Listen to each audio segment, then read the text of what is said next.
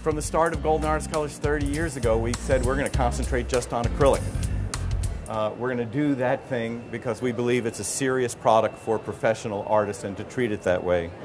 And through our research and development, uh, through all the custom products and all the experimental products, we've brought a lot of products to bear, a lot of new materials for us that have become standards in the line, but also a lot of materials that have become standards in our industry. But also from the beginning of this story, um, I got to meet uh, several individuals who were at our first art material shop, Torch Art Supply. First, it was Richard Frumess behind the counter helping customers, uh, helping me, trying to figure out as a young kid uh, what, what I was doing. And also, Richard was developing from scratch. And you know, the formulas that were supposed to be there for Torch Art Supply, well, they weren't there. Rich, Richard actually developed it. I also got to meet just a little bit later Carl Plansky and Carl was also helping behind the counter. Not that much, but an incredible, talented, talented painter. In just a few years, both of these individuals would be going off and creating products within their own medium that were incredibly special. Richard's, you know, R&F Encaustic, and Carl Plansky's uh, in Williamsburg, Brooklyn, Williamsburg Handmade Oil Colors. Come on up for just a second. Join me for this. You okay? Good.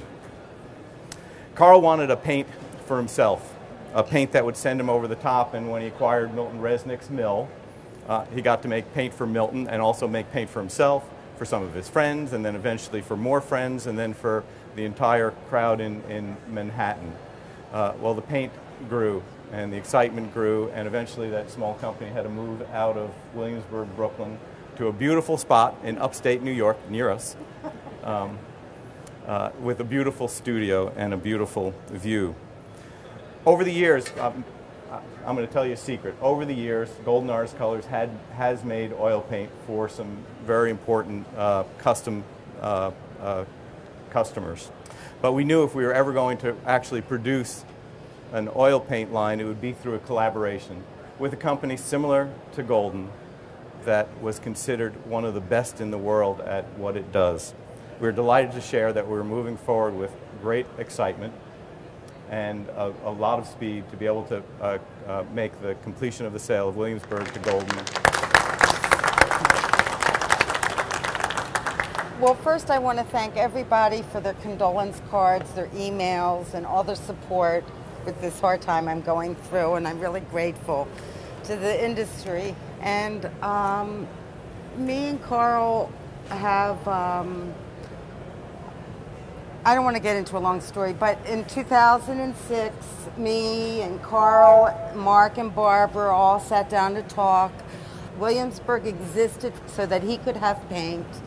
I came, helped him run the company. I went from selling retail to selling to all of you and the industry. And um, Carl always felt that Mark Golden and Golden Acrylic would always uphold Carl's integrity to keep the quality, the quality that Carl wants, and that's what I'm feeling comfortable with. And that gives me comfort that my brother's work will continue. Well, it's a, uh, a incredible, exciting time.